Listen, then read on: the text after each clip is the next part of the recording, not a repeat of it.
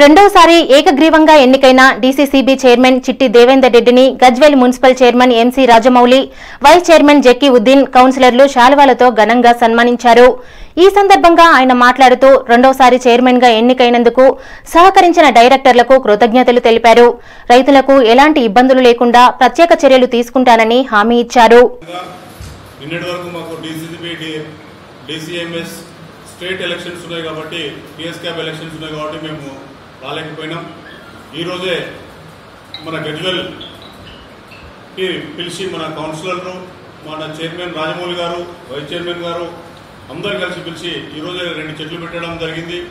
చెట్లు పెట్టి మనము ఈ పది రోజుల ప్రోగ్రాంలో మనం ఏం చేయాలంటే తడి పొడి చెత్తను అనేది మనం ఇంటింటి తిరిగి తప్పకుండా వేరు కనుక చేస్తే తడి చెత్త అంటే అన్నము కూరగాయలు ఆకుకూరలు చెట్ల ఆకులు మనం ఇంటి ముందు దుడు- దుడిచిన దుమ్ము కానీ మా ఇంట్లో దుడిచిన దుమ్ము కానీ అవన్నీ కూడా మట్టిలో కలిసిపోయేటువంటి వాటి అన్నిటి కూడా తడి చెత్త పొడి చెత్త అంటే మన బిస్కెట్ తిన్న కవర్లు కానీ మన కుర్కురే కానివ్వండి మన పాల ప్యాకెట్స్ కానివ్వండి వాటర్ బాటిల్స్ కానివ్వండి సోడా బాటిల్ కానివ్వండి ఏవైనా బాటిల్స్ ప్లాస్టిక్ సంబంధించిన అన్ని కూడా ఇంట్లో ఒక బ్యాగ్లో వేసి పెడితే వాసన కానీ అన్ని కూడా థమ్స్అప్ బాటిల్ కానివ్వండి పెప్సీ బాటిల్ కానివ్వండి అవన్నీ కూడా అవంతా పొడి చెత్త.